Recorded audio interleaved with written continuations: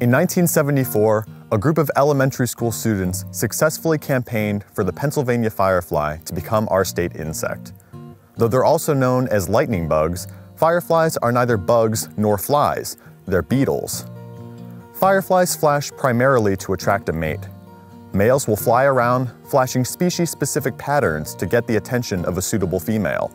If she's interested, she'll flash back the same pattern from atop nearby vegetation.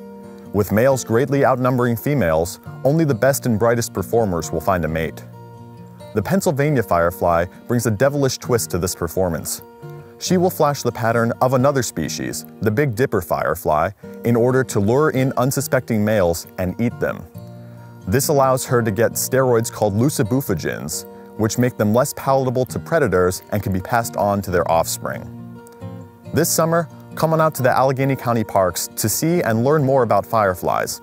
Thanks for watching.